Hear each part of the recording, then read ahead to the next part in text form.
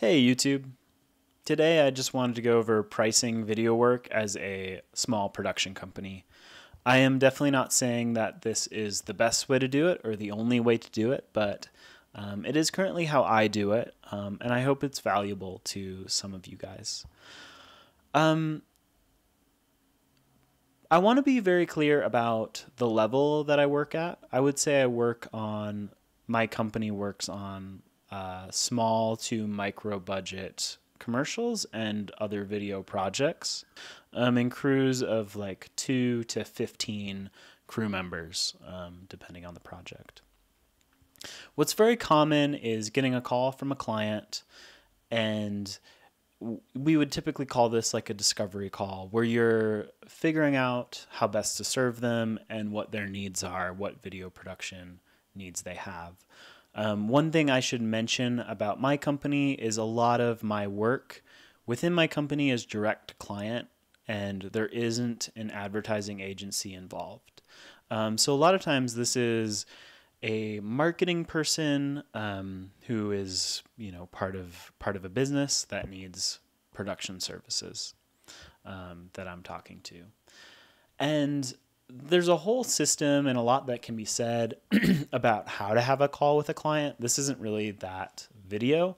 It's very common to have a client ask you for a price over the phone, and that's something that I just try to avoid at all costs. I basically I never give a price over the phone because there's just so many factors that go into pricing out video work. Um, and it's just too hard and too complex to do it over the phone. The way I price my video work is I actually don't send the client a traditional bid, um, which would look a lot like an invoice. Um, and the reason for this is one, I really want my bids to stand out and look nice. And two, I don't want to show the client how much every line item will cost. Meaning, I don't want to show them my gaffer's rate. I don't want to show them my sound mixer's rate. I don't want to show them how much I charge for editing hourly or how much the red package versus the Sony package costs. And this is because I consider myself a video expert and I feel like I understand what's needed to complete the project for the client. And I don't really want the client getting into those numbers that a producer would be looking at um, and saying, well, can we not shoot this on the red? Can we shoot it on a cheaper camera package? Or can we, you know, drop the PA um, out of the budget? I I would just rather give them a straight up number.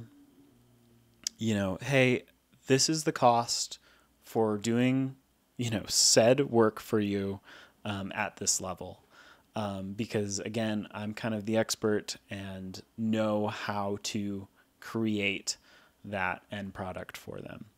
So I've been using Canva a lot to create these bids, and it's been really awesome. Typically, a bid of mine will have kind of a cover page. It will have a little bit about my company in case they're like presenting this at a meeting in inside their company. Um, it will have a scope of work and job description, so it's very clear on what we're doing. After that, it will have a page that breaks down um, the numbers, so it will line item out everything they're getting, but not associate a price with any of those line items, and then it will give them one price at the end. That's like for pre-production and production and post-production that includes all of these things. This is the one price. Um, and then we'll just have a thank you and contact page. So, how I come to this document is I will go into my accounting software and I will create an internal estimate for myself. Um, and this will have all the prices line itemed out. So, what I do is I start with pre production. I have a pre production rate and I figure out how many hours of pre production this job will take, how many hours I think it will take.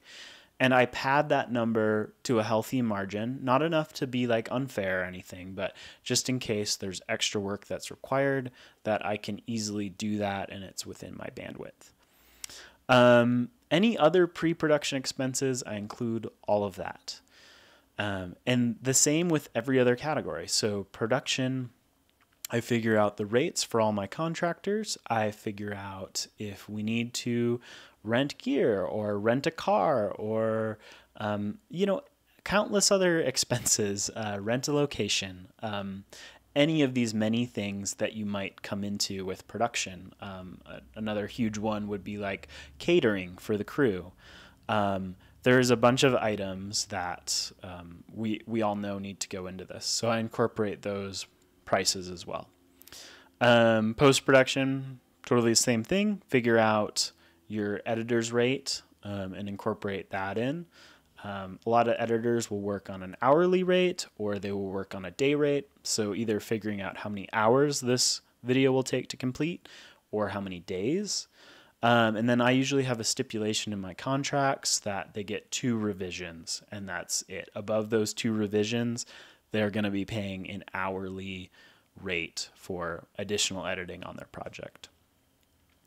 So once you have all these numbers, um, you're going to take that total and put it into a cal- calculator and just times it by 0.2 and that will give you a 20% markup. Um, some companies do 20%, some companies do 25%. Um, you can choose what feels right to you. I think it depends on how much over you overhead you have, um, and you know it does get tricky doing this because a lot of times you may be bidding against freelancers that can do these projects at cost. Um, however, it's really important to include this markup because as video production companies, you know, I, I, for one, I have an office space that I have to rent. I have insurances. I have editing software that I need to, you know, pay for those subscriptions. Um, there's these costs. There's these overhead costs, and that needs to be um, compensated for. And also, as you take on more jobs, sometimes you'll be doing two jobs in the same day or three jobs in the same day. And as the owner of the business, you're going to want it to make sense and be worth your time to be managing these different jobs. It's also pretty understated the risk you take on as a production company. Um, when you're doing these bigger jobs, especially when they're getting, you know, 30, 40, $50,000 jobs, you are taking on a lot of risk. Um, if something goes wrong on the shoot day and you don't deliver the project, I mean, that's just a ton of money on the line. Um, so you need to be compensated for that risk.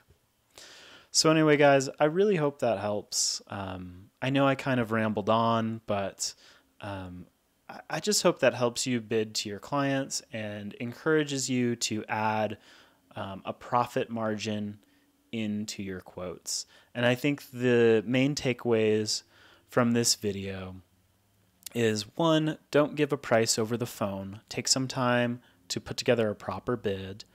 Two, don't line item and associate prices with those line items when you send the client um, your bid. And then three, just make sure you're adding in profit margin um, so that you can operate as an actual company and provide services like an actual company. I hope that helps, guys. I will see you in the next one. Later.